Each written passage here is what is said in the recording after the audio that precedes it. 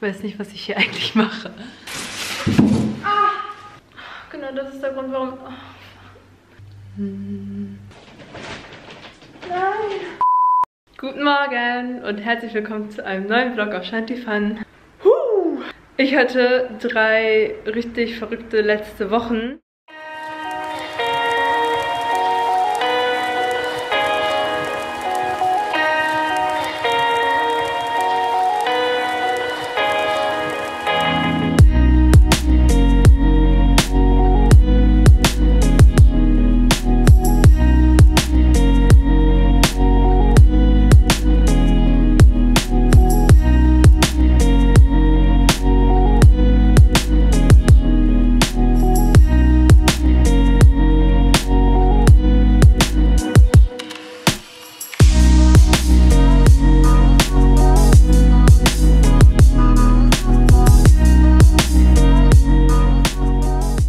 Wahrscheinlich habt ihr noch meinen letzten Vlog aus Buenos Aires gesehen. Da war ich ja mit Marvin im Urlaub.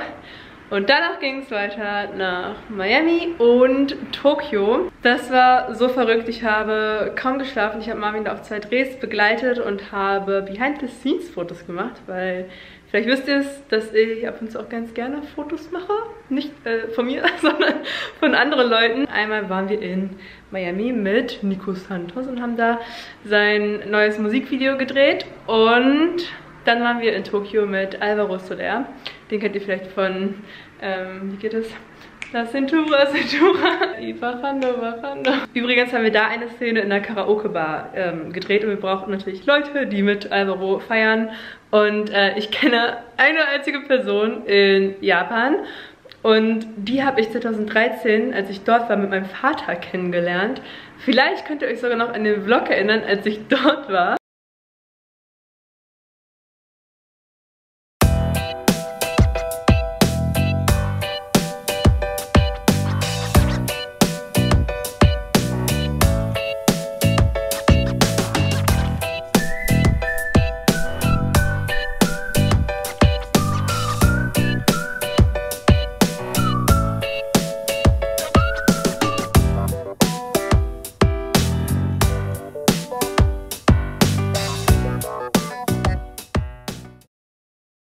Jedenfalls waren wir da einen Abend in so einer Bar in Tokio, in Asakusa.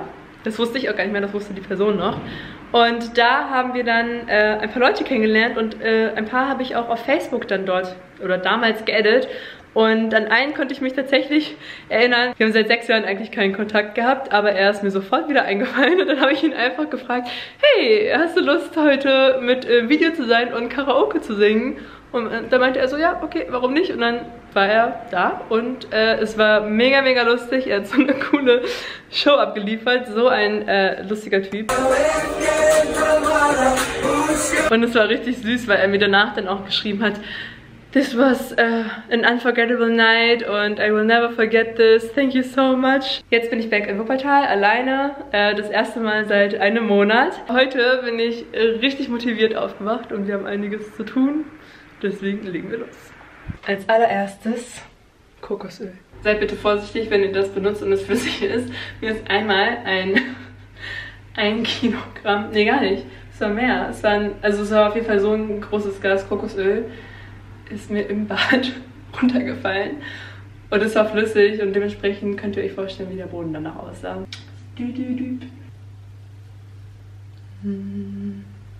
Und das lasse ich jetzt so lange einwirken, bis ich duschen gehe.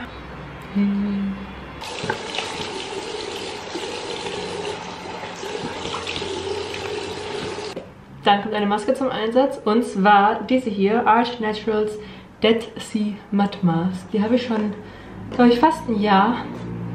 Und die hält echt Ewigkeiten.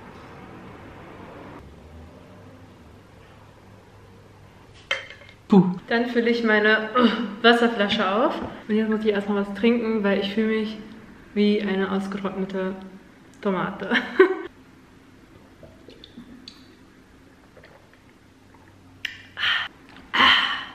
oh Gott. Das macht er mir voll Angst. Oh, ups. Ist nicht ganz dicht. Ich wasche jetzt gerade noch so Möhrchengläschen aus. Und mache dann das Etikett ab und dann kann man die für irgendwas anderes weiterverwenden. So, ich habe die Etiketten halbwegs abgemacht und jetzt lasse ich ähm, den Rest so ein bisschen einweichen. Und dann soll man die ganz einfach mit ein bisschen Olivenöl und Backpulver entfernen können. Das probiere ich gleich mal aus. So, sie sind sauber. Ähm, ich habe den Trick mit äh, Backpulver und Olivenöl nicht anwenden müssen. Ich habe das einfach mit so einer Bürste gemacht. Das ging voll gut. Ich mache mich jetzt auf jeden Fall fertig und ich habe in Tokio zwei neue Foundations gekauft, weil ich tatsächlich ähm, das Make-up für Alvaro gemacht habe. Es war so ein bisschen ähm, spontan und da musste ich dann halt so ein paar äh, Sachen besorgen. Und da habe ich diese zwei Foundations gekauft. Das ist die Studio Water Weight Foundation. Ich wollte halt nur sowas richtig Leichtes haben, weil ich habe noch nie das Make-up von irgendwem anders gemacht und schon gar nicht von einem Mann und dann auch nicht so äh, spontan. Ich habe einmal die NC35 mh, mm, geholt und die NC15 und ich kann sogar die hier ähm, so tragen, weil die ist ähm, auch gar nicht so krass deckend, was ich ganz gut finde. Ich mag das ja immer nicht so gerne, wenn man das so stark sieht. In der ganzen letzten Zeit habe ich so gut wie nie Make-up getragen. Also in Buenos Aires habe ich nur an einem Tag einmal Make-up getragen, also in einer Woche. Was ich voll gerne mag, also vor allem so im Urlaub, finde ich, ist es dann am schönsten, wenn man kein Make-up trägt und dann noch schöner, wenn man dann vielleicht für einen Abend oder so sich mal fertig macht und sich dann äh, richtig fresh fühlt. So, jetzt habe ich gerade ein bisschen Concealer aufgetragen. Das ist von Bobbi Brown ein Concealer. Instant Full Cover Concealer, also wirklich für äh, Stellen, die eine starke Deckkraft benötigen. Dann der Hula Bronzer. Ich habe übrigens auch diesen Bronzer. Das ist der Back to Bronze von L'Oreal. Und ich finde die Farbe an sich mega nice. Oh, upsie. Im Vergleich zum Hula ist es schon sehr ähnlich. Aber irgendwie gibt er einfach keine Farbe ab, habe ich das Gefühl. Da tut sich nichts auf dem Pinsel und man sieht nicht so wirklich was. Also wenn, dann muss ich wirklich so zehnmal reingehen. Aber es ist echt anstrengend. So, dann nehme ich ähm, den Gimme Brow in der Nummer 3, auch von Benefit.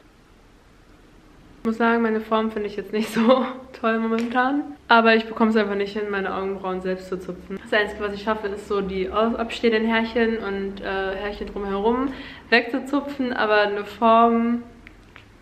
Mm -mm. Äh, Blush habe ich ganz vergessen. Der NARS Orgasm. Der Look wird auch nicht viel spannender. Das Einzige, was ich jetzt noch Spannendes mache, ist einen Lidstrich ziehen mit diesem ähm, Shiseido ähm, Eyeliner. Filz Stiftspitze und ist so ein bisschen angeschrägt und ist sehr dünn und ich finde den richtig gut. Und ihr könnt damit halt richtig, richtig dünne Linien ziehen. Also wenn ihr wollt, könnt ihr halt wirklich nur so am Wimpernkranz entlang gehen. Aber eigentlich wollte ich mir jetzt einen Wing machen. Wie mache ich das jetzt? Also wenn ich mir einen Wing mache, dann ziehe ich mir erstmal so eine normale Linie übers Lid, eine Lidstrichlinie. Also einen normalen Lidstrich, eine Lidstrichlinie. Oh, die Linie ist echt nicht so gut geworden. Egal. Und dann schaue ich halt, ähm, ja, dieses typische Verfahren, wo das Ende meiner Augenbraue ist und äh, wo ich den Lidstrich ansetzen will. Und dann verbinde ich, also dann mache ich einfach ein Dreieck und verbinde das mit dem Lidstrich, den ich schon gezogen habe. Ich mache das einfach nochmal beim anderen Auge. Ich glaube, ich kann mich dann besser konzentrieren, wenn die Kamera aus ist. Lidstriche müssen keine Zwillinge sein, sondern nur Geschwister. So, I'm ready. Und ich fahre jetzt los äh, zu dem Vincent. Das ist der beste Freund von Marvin und der hilft mir jetzt ein Foto zu machen. Genau, und dann muss ich noch kurz nach Dortmund und ja, so viel passiert jetzt nicht. Also ich fahre jetzt erstmal zu dem Winnie. Wir nennen ihn übrigens immer Wunder-Winnie. und äh, ja, Marvin und ich sind Experten darin, uns, uns unsere eigene kleine Fantasiewelt zusammen aufzubauen. Und Wunderwinnie hat eine, immer eine sehr ähm, schöne Rolle, weil er rettet immer alle und macht das Leben von allen Leuten schöner. und kommt immer auf seinem Wunderwinnie-Mobil durch die Luft geflogen mit einem mit Düsenantrieb und Feuer und kommt dann und zündet Wunderkerzen an. Ich glaube, das finden nur Marvin und ich lustig, aber ja, es ist Wunderwinnie. Vielleicht werdet ihr ihn gleich kennenlernen, wenn ich nicht vergesse zu filmen. So, Wunderwinnie ist schon fleißig am Shooten. Ja, das ist Wunderwinnie.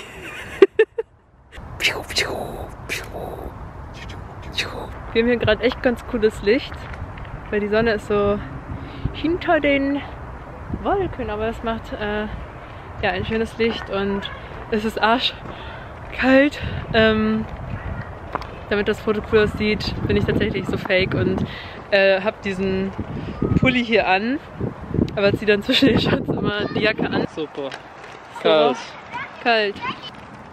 Das ist richtig schön. Geil. Geil, geil. Du kannst äh, da nach dem Hintergrund kannst du. Okay, wir haben gerade eine lustige Fotoidee gehabt und zwar möchte ich mich auf diesen Nagellack setzen und dafür muss ich mich jetzt auf die Mülltonne hocken. So.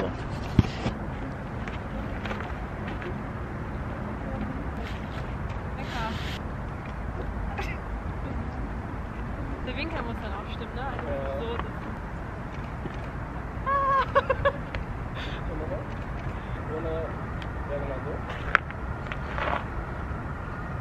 so Uh, guten Morgen. Ich bin gejetlaggt, aber ich muss sagen, ich feiere meinen Jetlag eigentlich, weil ich voll früh müde bin, so gegen 9. Und dann wache ich aber schon so um 5.30 Uhr auf. Und äh, ja, habe dann direkt gestartet mit Videoschneiden. Es hat geschneit und äh, Wuppertal sieht mega, mega schön aus und die Sonne scheint sogar noch. Ich muss eigentlich gleich mal rausgehen. Ich habe ein bisschen das Gefühl, dass ich krank werde. Ich bin die ganze Zeit am Niesen. Auf jeden Fall wäre das doof, weil am Samstag bin ich in Wien auf der Glow und ich bin das erste Mal dann in Wien. Richtig cool. Ich freue mich schon voll. Ja, ich bin schon voll gespannt. Alle schwärmen so von Wien und ja, ich freue mich. Wo ist dein Freund? Ähm, der ist in Bangkok.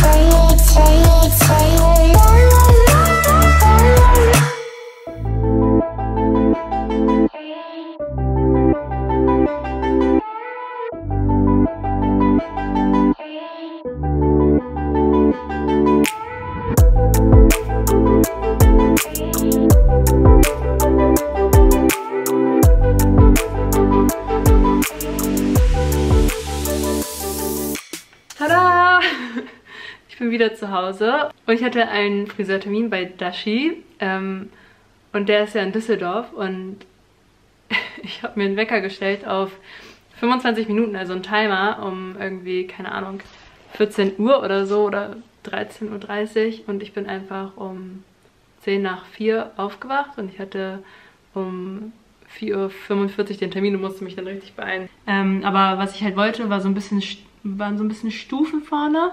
Ich hatte nämlich neulich irgendwann so ein Bild von mir gesehen oder ein Video, wo ich äh, Stufen hatte. Ich glaube, die waren aber in dem Video noch kürzer sogar. Also ich glaube, tatsächlich hier irgendwo haben die angefangen. Ähm, und das fand ich ganz cool und das wollte ich jetzt wieder haben. Und ja, ich bin sehr happy. Ich habe jetzt endlich wieder so einen Haarschnitt, weil ähm, Emra hatte ja meine Haare geschnitten und dann war ich danach nochmal beim Friseur, der hat das so ein bisschen korrigiert. Und äh, dann war ich, glaube ich, ja, seit über einem halben Jahr nicht mehr beim Friseur und die sahen dann auch dementsprechend aus. Jetzt muss ich auf jeden Fall irgendwas machen, um mich wach zu halten. Und ich habe es euch noch gar nicht gezeigt, was hier im Flur steht. Ihr seht es schon im Spiegel. Oh yes. Also einmal das hier und einmal das hier. Leider ist niemand da und kann mir mit irgendwas von den beiden Dingen helfen. Marvin ist auch nicht da. Ich habe jetzt überlegt, ob ich das einfach mal alleine versuche auszupacken. Das eine ist ein Tisch. Äh, ich weiß nicht, ob ich es schaffe, den allein aufzubauen. Aber das andere ist ein Sofa. Und meine Hoffnung ist ja, dass es schon... Na, wahrscheinlich nicht. Ich bin so müde.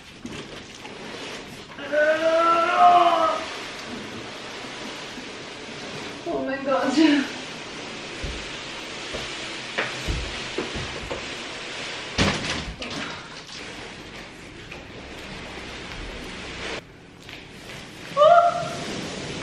Nee, andersrum. Oder? Andersrum, andersrum, andersrum. Nein. Ah. Ich weiß nicht, was ich hier eigentlich mache.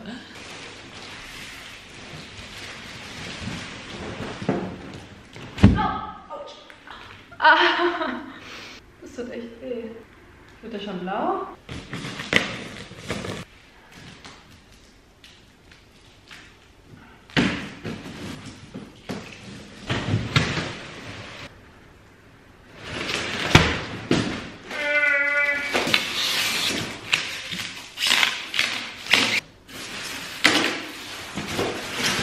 So, was mich aber am meisten interessiert, ist die Holzplatte.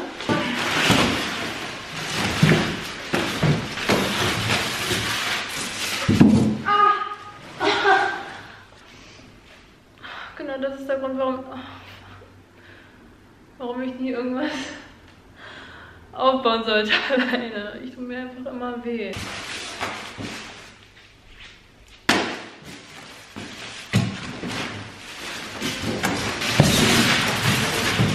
Ich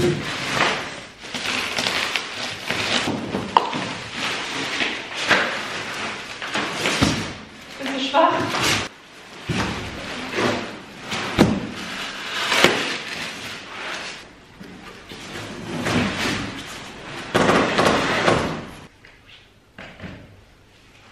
So, hier in die Ecke kommt dann der Tisch. Und ich glaube, dass er da echt gut reinpasst. Hat echt die perfekte Größe für da hinten. Ja, es ist wirklich sehr schwer. Ey, das haben zwei Typen innerhalb von 10 Sekunden die Treppe hochgetragen. Wie. Was waren das für Menschen? Waren das Menschen, die das hochgetragen haben? Ich kann es nicht mal schieben. Ich glaube, auf der Stelle. Oh, Mann. Ich glaube, ich krieg das auch nicht um die. Nee, wie soll das gehen? Ich glaube, man muss das hochkant durch die Tür äh, schieben.